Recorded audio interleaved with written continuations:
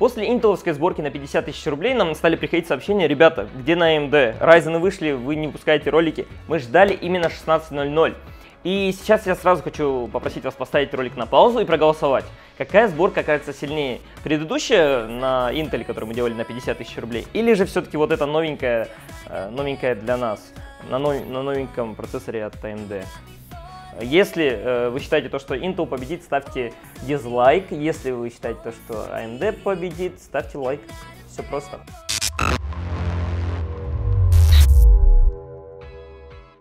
Материнская плата у нас от Asus, это Asus B350 Prime Plus.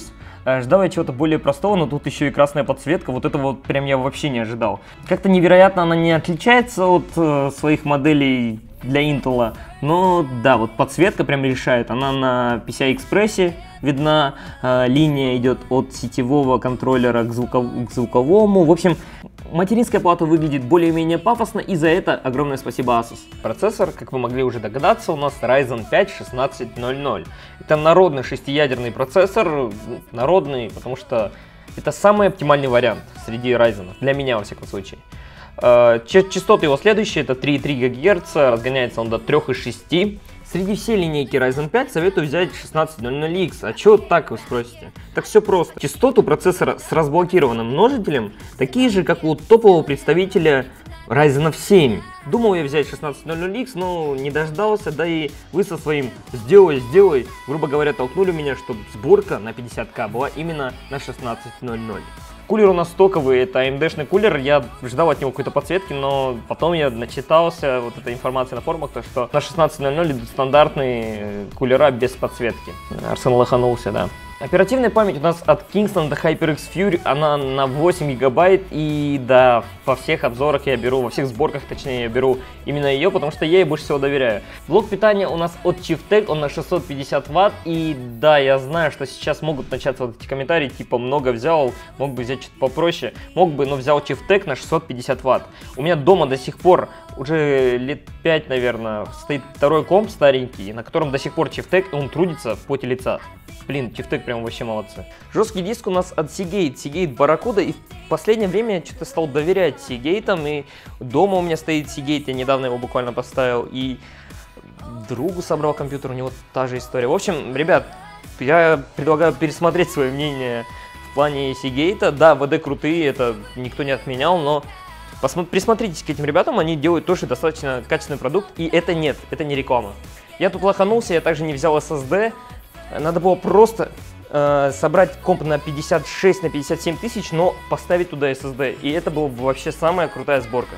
Корпус у нас от GameMax и, друзья, не ведитесь на картинку. Пока вы сами не придете и не пощупаете тот или иной корпус или не увидите его в каком-то ролике, не верьте, просто не верьте. Мы заказали, точнее взяли этот корпус, и думали то, что все так будет круто, там впереди на картинке э, на официальном сайте GameMax указано, ну, показано то, что вентилятор на передней стеночке находится, но ничего подобного мы не нашли, это тупо развод, поэтому мы лоханулись с корпусом, но мы его решили оставить, потому что у него есть красный вентилятор, который находится на задней стенке, корпус стоит всего 2300, если не ошибаюсь, и он отлично вписывается, точнее, система отлично вписывается в этот корпус.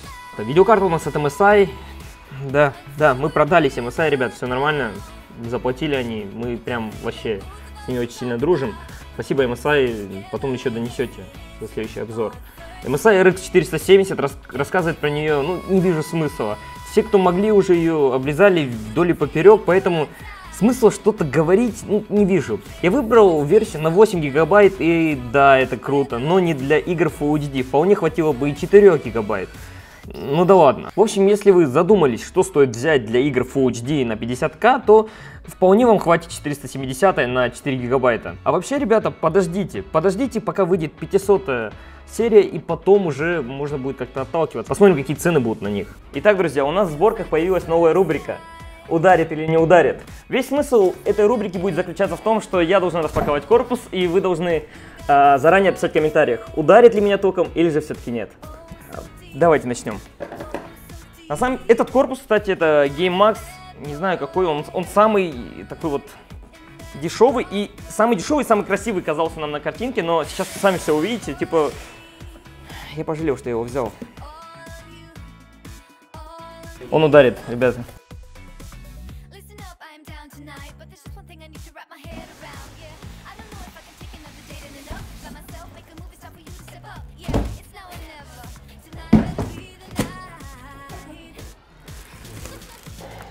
Я люблю геймакс.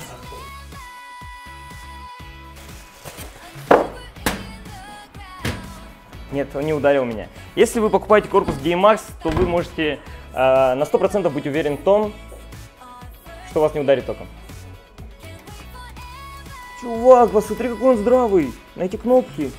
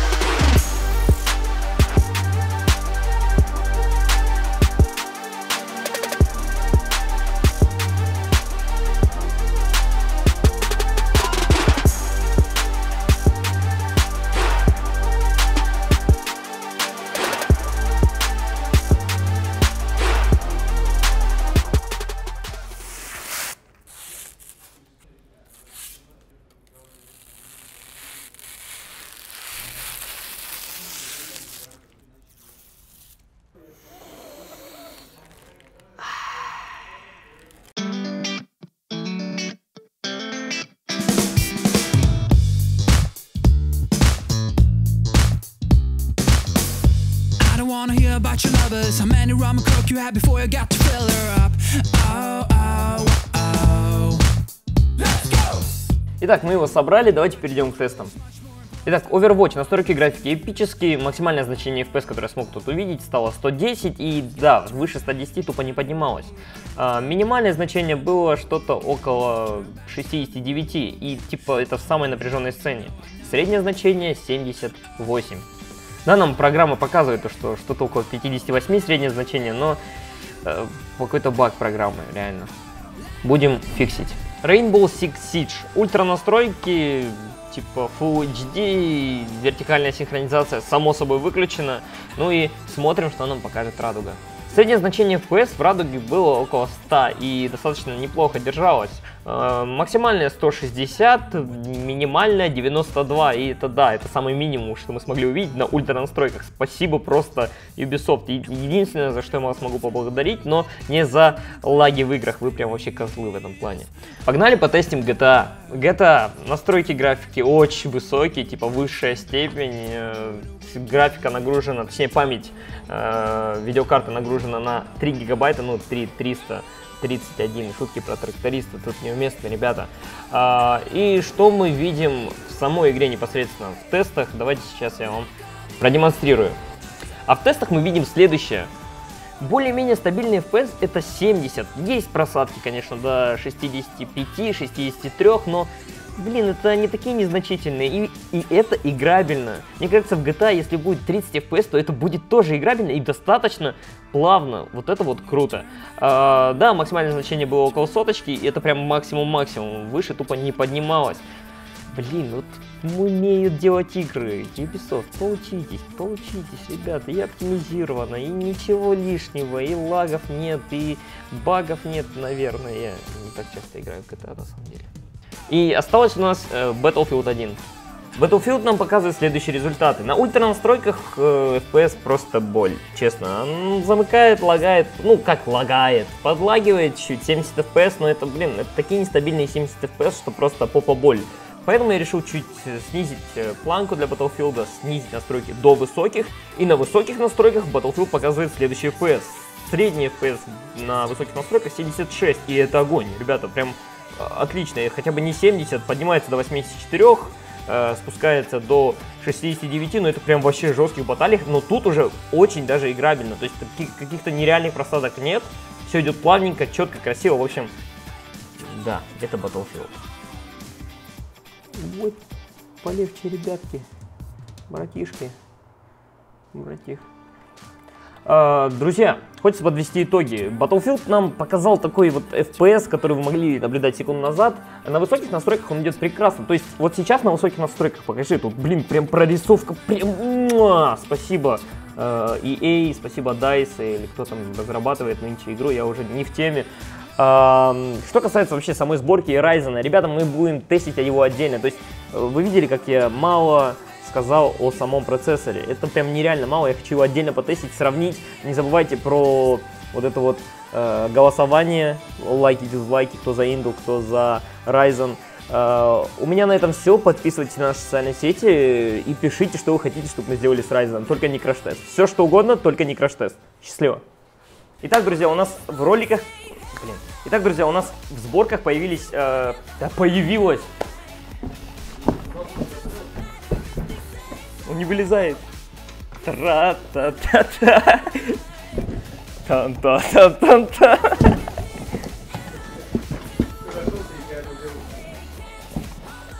Хоть какой-то чувак. А ты знаешь. Итак, друзья, помимо рубрики «Ударить не ударит», у нас также мы решили вести вашу любимую рубрику «Понюхай». А, в этой... Это уже, это уже, чуваки, это перебор уже.